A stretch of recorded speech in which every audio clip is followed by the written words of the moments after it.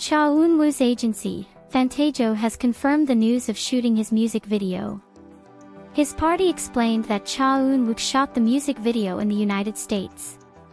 Idol and actor Cha Eun-woo is reportedly preparing for his solo debut in mid-February.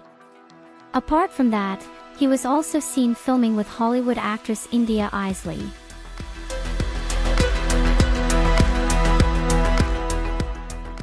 Fantagio wrote that Cha Eun-woo recently shot his music video in the United States with artist India Eisley.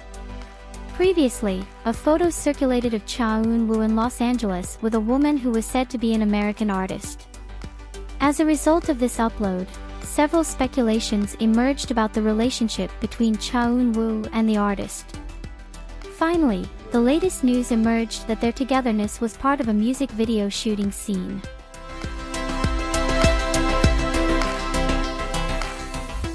The agency has also said that the image circulating on social media features Cha Eun-woo and India Eisley as the romantic lead in the video clip project. The agency also explained that Cha Eun-woo is still making promotional materials for his solo in the United States. Then, he will return to South Korea on January 30th.